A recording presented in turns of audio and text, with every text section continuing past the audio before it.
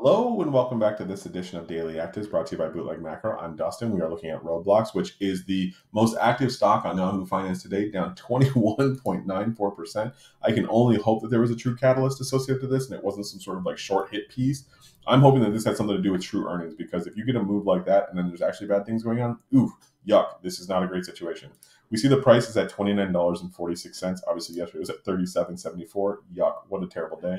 The one thing that I do find to be really interesting is that yesterday we had a breakout in volume the day before. So somebody knew something, even though we were up on the day, we were, we were up 37 basis points. There's 13 million shares traded, which was the highest amount of shares traded since it looks like the middle of July.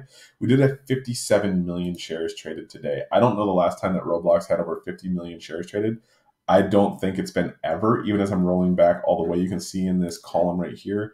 I don't think the last time was in February when they had over 50 million shares traded. February 15th, the day after Valentine's Day.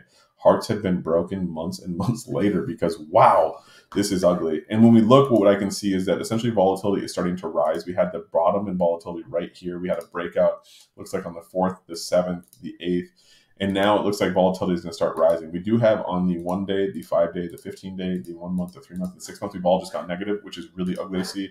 We can see that on the signal here, we are short, we are go short on the short term, intermediate term, and longer term. When it comes to the trend indicator, we're bearish on the short term, intermediate term, and longer term.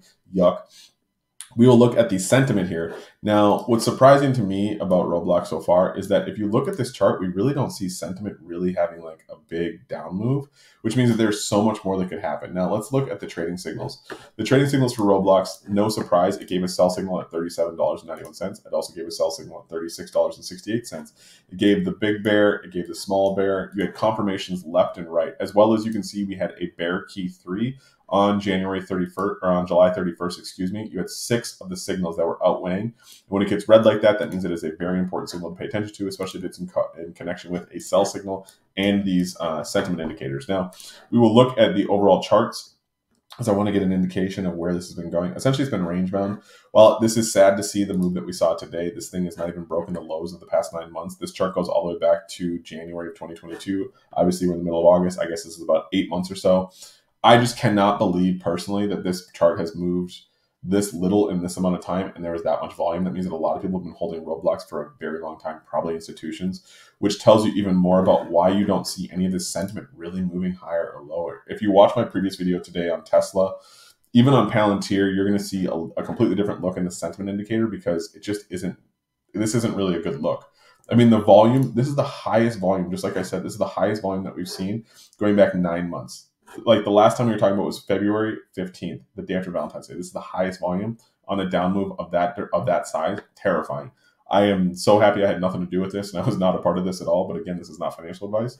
We're looking at the price correlation to the volatility. Like I said, volatility has been breaking out since the third. The correlation is slightly positive, but it's kind of falling.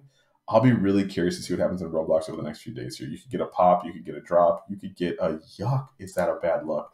I mean, essentially what we saw was the trade range was starting to expand because the volatility was breaking out. And the volatility range was not even close enough to enough for the type of move that was expected. I mean, Roblox, even on the ultra fast sentiment indicator, really isn't showing much life. But tell me what you think in the comments below. Are you long? Are you short? Do you like it? Do you love it? Is this even a good review? And before you go, subscribe to the New High newsletter. We give you 25 stocks to your inbox every single Sunday for free that are breaking out, hitting 52 week highs and new highs. Go get yourself some. I'll talk to you soon.